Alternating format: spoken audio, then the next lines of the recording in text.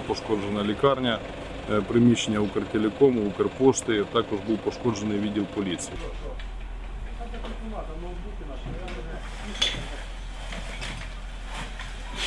Thank you.